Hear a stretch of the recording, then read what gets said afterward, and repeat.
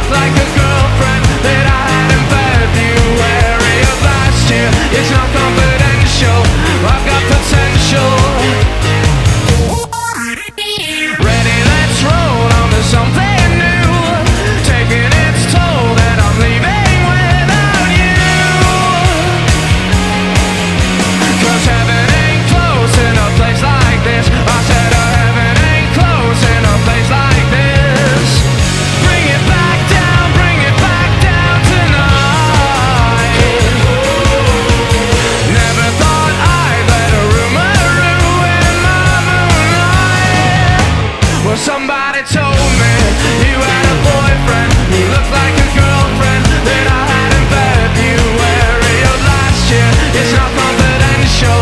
I've got